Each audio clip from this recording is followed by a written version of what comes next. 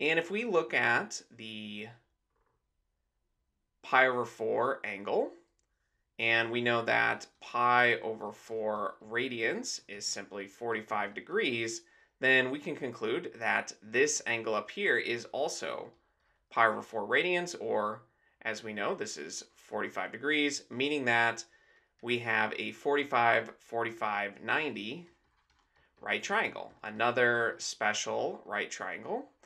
And if we say that the hypotenuse of this is r, then these two sides are equal since this is a isosceles triangle and we can solve for these sides, but it will be r divided by the square root of 2.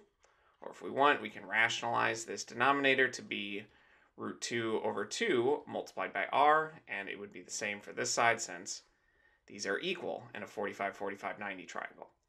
Now, applying our trig function definitions, we can look at the sine first. The sine of pi over 4 would be the opposite divided by the hypotenuse. We have root 2 over 2r divided by r, and the r's cancel out, and we get the square root of 2 over 2. But notice that the cosine of pi over 4 is also root 2 over 2, since the adjacent and the opposite sides are equal. So this is a case where sine and cosine are the exact same value, the square root of 2 over 2. And when we look at the tangent of pi over 4, it is the opposite divided by the adjacent, we have something divided by itself. And so everything will cancel out, and this will be equal to 1.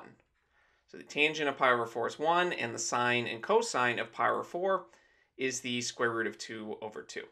And again, these conclusions come from the fact that a pi over 4 radian angle essentially just creates this 45, 45, 90 right triangle and we can use the properties of this triangle to determine each of the side lengths and look at these different trig functions.